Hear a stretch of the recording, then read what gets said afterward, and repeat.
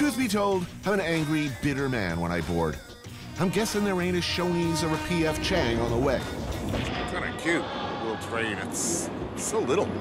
It's the Universal Tourist. I'm gonna go on the King Kong ride.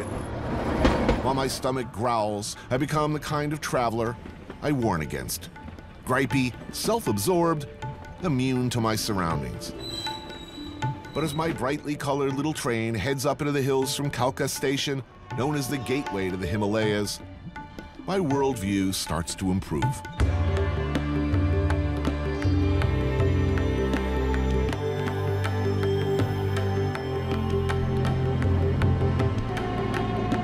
The unnaturally bright colors of India start to pleasurably saturate my brain.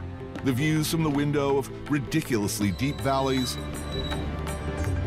hundred year old bridges.